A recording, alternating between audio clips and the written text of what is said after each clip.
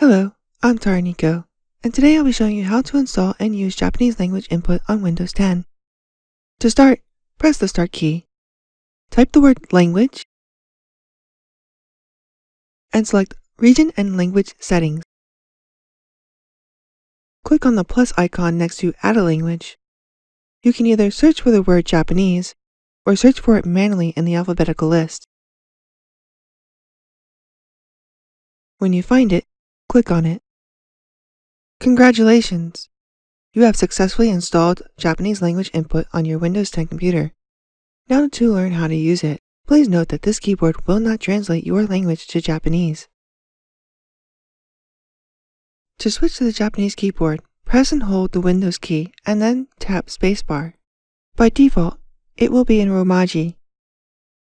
Romaji is essentially the English alphabet, letters A through Z. To switch to hiragana, press and hold the Alt key and tap the accent tilde key. The accent tilde key is located below the escape key.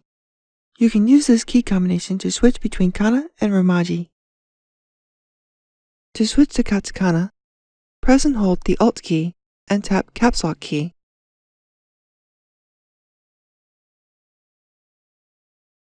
To get to hiragana, press and hold Control and tap the caps lock key. To get kanji, type out the Japanese word in katakana or hiragana, then use the spacebar to move through available options and press enter to select. Thank you for watching. Please remember to like, comment, subscribe, and become a bell ringer. Ja, matane.